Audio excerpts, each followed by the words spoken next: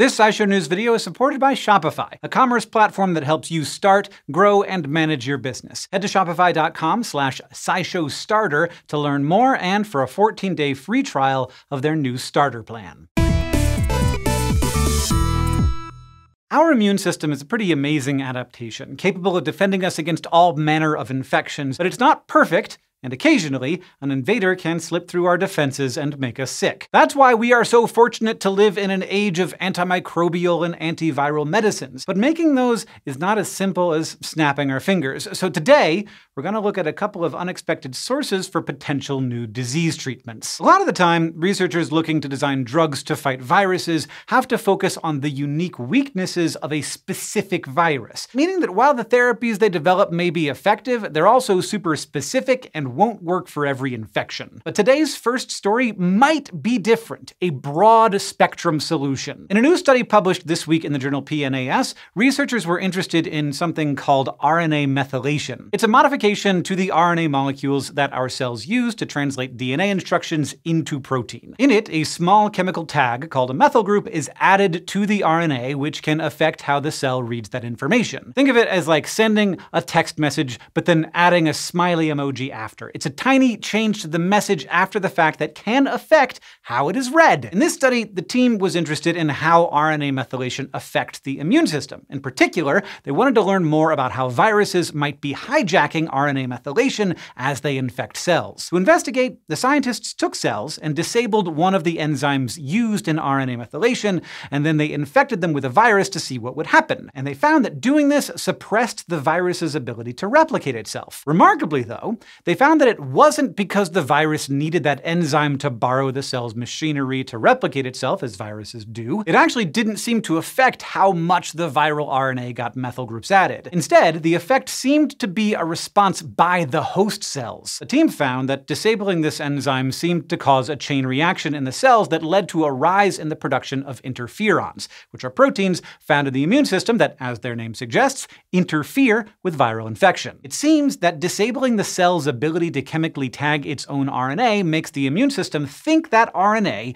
may be from a foreign invader, so it gets put on high alert, making it more likely to bump into the virus. That's when it really cracks down and churns out the interferons. More experiments with other cell types and live mice showed the same thing, and showed that this could work for a wide range of different viruses, since interferon is one of the body's go-to general responses. The scientists said that designing a drug that does this could be a next step. Now, the second story we have is also about a potential drug discovery, but this time it's about potatoes. In a new paper published in the journal MBio, a new kind of antifungal compound could protect us, and more importantly, our beloved hash browns. In fact, this story is really more about plants than animals. The story goes that scientists were looking at a bacterium known as Dickeya solani. It was first identified more than 15 years ago, and it's a pest that caused something called blackleg disease in plants. Scientists studying it years ago made the remarkable discovery that this bacterium could actually produce antimicrobial compounds itself. Specifically, this was a compound called oocydin A that attacked certain species of fungi. Don't get me wrong, the bacterium was not doing this out of the goodness of its heart. The goodness of its flagella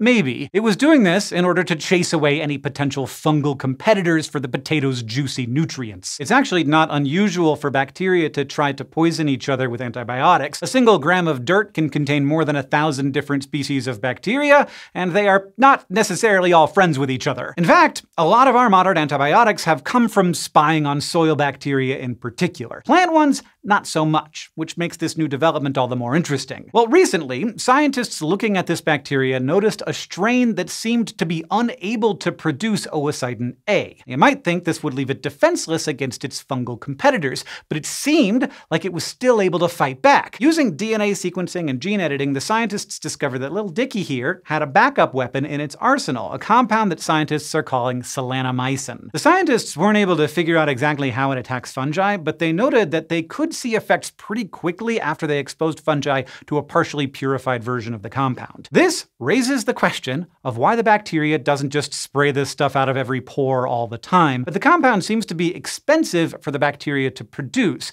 so it only makes it when it really needs to. That might explain how solanimycin was able to escape notice for so long. The cool thing is that solanimycin seems to work against a handful of fungi. This includes other plant pathogens, and some human ones as well, like Candida albicans, which can can cause oral, genital, and other infections in humans, so a drug version of this compound could potentially become a treatment for humans, but also one that helps protect our oh so important potatoes. It also shows that it might be worth going back to some other microbes scientists have already examined for antibiotic compounds. Maybe they too have some backup weapons we've never noticed before. We are lucky to live in a time when we know so much about how and why the body gets sick. There is still a lot of work to do, but it turns out that you can find some really cool answers in surprising places, as these two stories show. Thank you to Shopify for supporting this SciShow News video. Shopify is a commerce platform, which means they make it easy for you to sell all sorts of products and services. I have been using Shopify for over a decade. In addition to being a host of SciShow, I also run an e-commerce company called dftba.com,